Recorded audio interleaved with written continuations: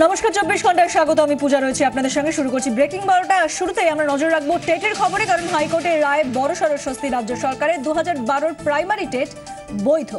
যাবতীয় আইন মেনেই হয়েছে পরীক্ষা, ঘোষণা বিচারপতি দেবাংশু বসাকের সিঙ্গেল বেঞ্চের তবে মামলাকারী পরীক্ষার্থীরা এখনও অনর তাদের দাবিতে। তাদের অভিযোগ দু হাজার তেরো সালে এনসিটি গাইডলাইন মেনে পরীক্ষা হয়নি। মামলার শুনানি চলাকালীনই এনসিটির তরফেও জানিয়ে দেওয়া হয় যে পরীক্ষা নেওয়ার প্রক্রিয়ার সঙ্গে নির্দেশিকার বিস্তর ফারাক। মামলাকারীরা এই রায় নিয়ে প্রশ্ন তুললেও খুশি পরীক্ষায় সফল আঠেরো হাজারেরও বেশি পরীক্ষার্থী। বর্তমানে শিক্ষকতার সঙ্গে যুক্ত এই পরীক্ষার্থীরা অবশ্য এখন অনেকটাই স্বস্তিতে। শ্রাবন্তী সাহা আমাদের প্রতিনিধি, আমাদের সঙ্গে রয়েছেন এই মুহূর্তে টেলিফোন লাইনে। শ্রাবন্তী, যেটা জানতে চাইব যে বিচারপতির পক্ষ থেকে আজ ঠিক কি জানানো হয়? দেখো যেটা মামলার দিক ছিল, যে মামলাকারীদের বক্তব্য ছিল, দুহাজার বারো সালে যখন রাজ্য সরকার এই পরীক্ষার একটি বিজ্ঞাপন দিয়েছিল, সেখানে পরিষ্কারভাবে উল্লেখ ছিল যে এনসিটির গাইডলাইন মেনেই কিন্তু প্রশ্নপত্র হবে।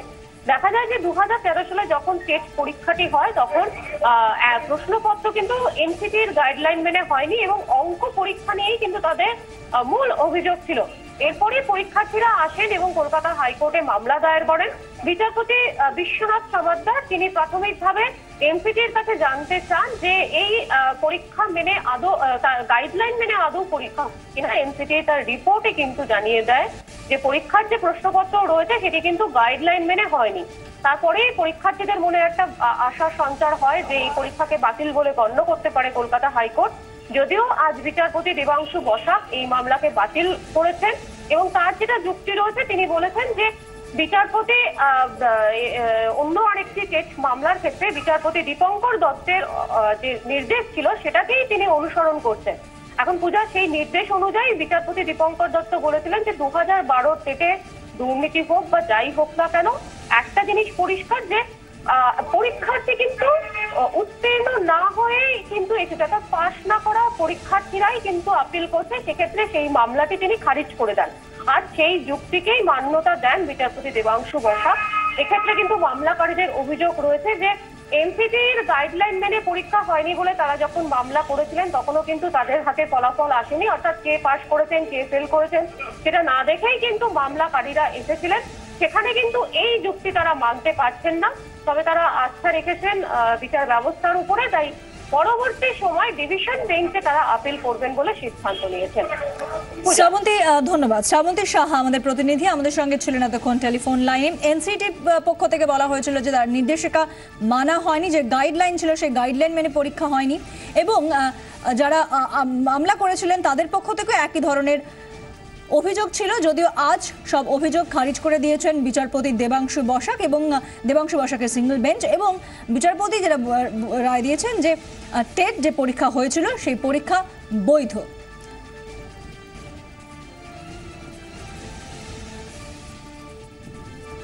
মানিক ভট্টাচার্য চেয়ারম্যান প্রাথমিক শিক্ষা পর্ষদ আমাদের সঙ্গে রয়েছেন এই মুহূর্তে টেলিফোন লাইনে। আপনাকে স্বাগত চব্বিশ ঘন্টায়। আজ দেবাং বিচারপতি দেবাংশু বসাকের সিঙ্গেল বেঞ্চের যে রায়, সেই রায়ের পরিপ্রেক্ষিতে আপনার কি মন্তব্য?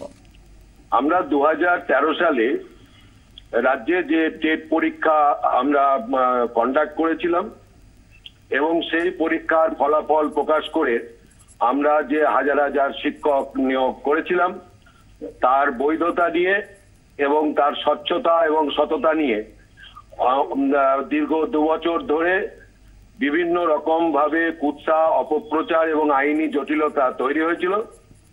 আজকে মহামান্য কলকাতা হাইকোর্ট আদালত আমাদের চূড়ান্ত স্বচ্ছতা এবং সততার ওপরে সিলমোহর দিয়েছেন। এর ফলে আমাদের যে হাজার হাজার শিক্ষক, শিক্ষিকা, তারা মাথা উঁচু করে সম্মানের সঙ্গে কাজ করতে পারবেন এবং সরকারের বৈধতা এই রায়ের ফলে সরকারের স্বচ্ছতা এবং বৈধতার উপর শিলমোহর পড়ল। এটা চরম স্বস্তি এবং আমরা এই রায়কে স্বাগত জানাচ্ছি। নিঃসন্দেহে যেটা জানতে চাইব আপনার কাছে যে, আবেদনকারীরা তারা এরপর ডিভিশন বেঞ্চে যাওয়ার কথা ভাবছে, উচ্চ আদালতে যাওয়ার কথা ভাবছে। এই বিষয়ে আপনার কি মতামত?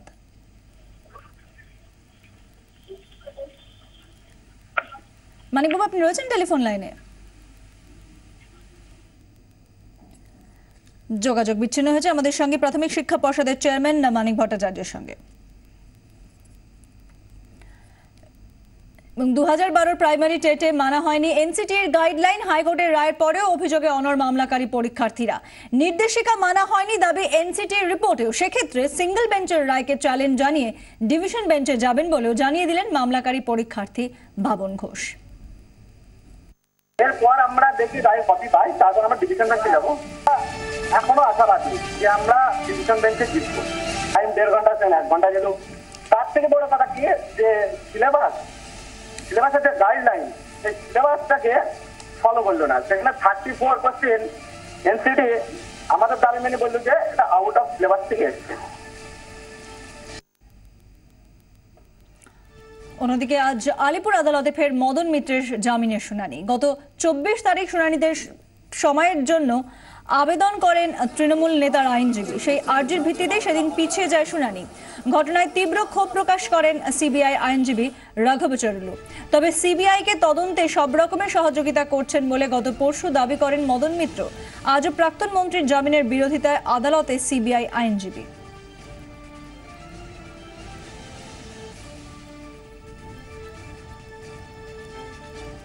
সোমবার সংসদে সাধারণ বাজেট, তার আগে আজ আর্থিক সমীক্ষা পেশ অর্থমন্ত্রীর। গত আর্থিক বছরের আয় ব্যয়ের হিসেব অরুণ জেটলির। পর্যালোচনা রাজ্যসভায়। তবে আজও শুরু থেকে উত্তাল রাজ্যসভা। স্মৃতি ইরানির ক্ষমা চেয়ে সংসদ অচলের হুমকি বিরোধীদের।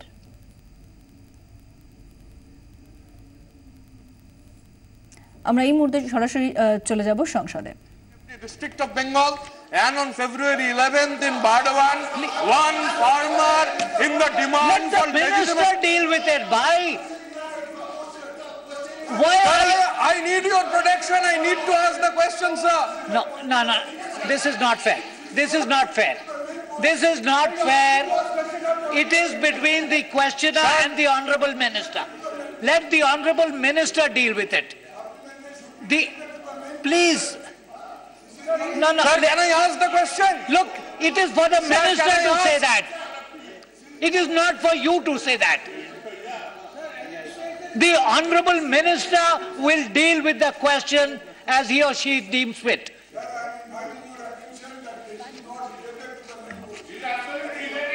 May, whether it is or it is, listen, uh, why are we wasting time? No, no, Mr. Tapan Sen, please sit down. Why don't you let the honorable minister deal with it? Sir, you only say political What is this ex- excitability for nothing? Waste of time. Sir, please go ask- ahead with your question Yeah. and Sir, don't deviate, please, know- quickly. Huh, I want to know from the minister Otherwise, whether I the will go to the government- next question. whether the government is aware of the situation where there are agitations in every every district. Sir, I- sir, I need to uh, I need to ask the question, sir. What is this? What is the problem? What is their problem? The minister answer. What do On, sir, I want to know from the minister. Look, one minute, one minute, please. Please, Mr. Tapan Sen, please sit down. Please sit down. Please sit down.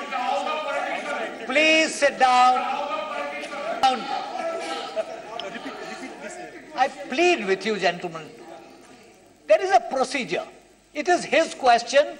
If his question is not related to the question, the minister is in a position to answer it. Why are you prejudging? Why are you prejudging? Nothing is recorded. We are... listen. You know that. Please, please, don't convert the house into a public meeting. Sir, can I ask? By can can you deal with the question? Sir, can I ask? Okay, you've asked a question. Sit down. No, now. sir, I have not asked the question. I have to finish my question. Look, sir. I will be compelled to go beyond this question to the Sir, next one. I- you, I you need your cannot question. hold the I need house to ask the answer. question. If I am disturbed, Let him- how will I ask the question? Please sir? ask your question I am quickly. asking a specific question whether the government is aware of these agitations in which on 11th of February one farmer has been killed. He has been demanding legitimate Does your- questions. No, I, I want to ask whether the government is aware of the situation or No, not. no. All right. Listen, आप आप बोलिए badger. No. no. Sit down, please. Let the Honourable Minister deal with it. Please, please sit down. Please Sir, sit down. पश्चिम बंगाल में फरवरी 2016 से food security act लागू हुआ है और food security act लागू होने के पहले एपीएल था बीपीएल था और अंत्योदय था और उस समय में जो लाभार्थी की संख्या थी, वो पाँच करोड़ पैंतालीस लाख बासठ हज़ार था। फ़ूड सिक्योरिटी एक्ट लागू होने के बाद जो लाभार्थी की संख्या है, वो बढ़ करके छः करोड़ एक लाख चौरासी हज़ार हो गया है। और छः करोड़ एक लाख चौरासी हज़ार में से जो अभी लाभार्थी हैं, वो हैं पाँच करोड़ पैंतालीस लाख बासठ हज़ार। तो हाँ जो पहले के थे। तो इसलिए जो है यदि दोनों को आप देख लेंगे तो उसमें से अभी जो है राज्य सरकार को छप्पन लाख बाईस हज़ार जो है, लाभार्थी बनाना है। जो लाभार्थी बनाया जाता है, वो हम नहीं बनाते हैं, बल्कि जो प्लानिंग कमीशन है, वो तय कर दिया है कि पश्चिम बंगाल में चौहत्तर पॉइंट सैंतालीस प्रतिशत जो आबादी है वो ग्रामीण इलाका में कवर होगा। और सैंतालीस पॉइंट पचपन लाख सैंतालीस पॉइंट पचपन परसेंट शहरी इलाका में होगा। और ये मिला करके जो है, छह करोड़ एक लाख बनता है। तो कौन लाभार्थी होगा? वो सेंट्रल गवर्नमेंट तय नहीं करती है। वो लाभार्थी तय करती है। राज्य सरकार और ये कानून आपका बनाया हुआ है। जुलाई कहते हैं पाँच जुलाई 2013 का সংসদের উভয় কক্ষে অধিবেশন চলছে। আমরা দেখালাম রাজ্যসভায় সেখানে বক্তব্য রাখছেন মন্ত্রী এবং কার্যক্রমের শুরুতেই উত্তাল ছিল রাজ্যসভা। সৌজন্যে মানব সম্পদ উন্নয়ন মন্ত্রী স্মৃতি ইরানি। বৃহস্পতিবার রাজ্যসভায় কিছু ইস্তেহার পড়ে শোনান তিনি। তাতে হিন্দু দেব দেবীদের সম্পর্কে আপত্তিকর মন্তব্য ছিল। স্মৃতির দাবি, জেএনইউ ক্যাম্পাসে ওই ইস্তেহারগুলি বিলি হয়েছে। বিরোধীরা বারবার অনুরোধ করা সত্ত্বেও স্মৃতি শোনেননি। ধর্মীয় ভাবাবেগে আঘাত দেয় এমন বক্তব্য স্মৃতি সংসদে পড়লেন কেন? এই নিয়ে শুরু থেকেই সরব হন বিরোধীরা। জবাবে স্মৃতি বলেন, তিনি অত্যন্ত যন্ত্রণার সঙ্গে কথা বলেছেন, কিন্তু তাতে শান্ত হননি বিরোধীরা। ডেপুটি চেয়ারম্যান স্মৃতির বক্তব্যের এই অংশটি কার্য বিবরণী থেকে বাদ দেওয়ার নির্দেশ দেন, যদিও স্মৃতি ইরানি ক্ষমা প্রার্থনার দাবিতে অনড় থাকেন বিরোধীরা।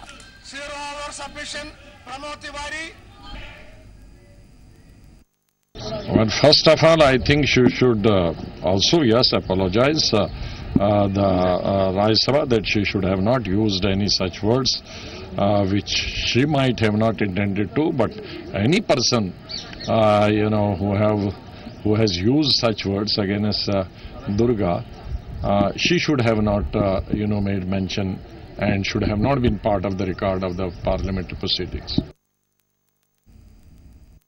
जो हालात वहाँ रोहित बेमुला का हुआ है, बाबा साहब अंबेडकर तो धर्म भर बदले थे। यानी समय आगे जाता है, पीछे नहीं जाता है। ये नौजवान ने कहा कि मेरा जन्म ही मेरा दुश्मन है और इसने प्राण त्याग दिए। तो इस पर कोई तर्क करे, कुतर्क करे तो सारे सिस्टम को और सारी सरकार को जो पक्षपात हो रहा है, जो हर यूनिवर्सिटी में जो दलित लोग हैं जो वीकर सेक्शन के लोग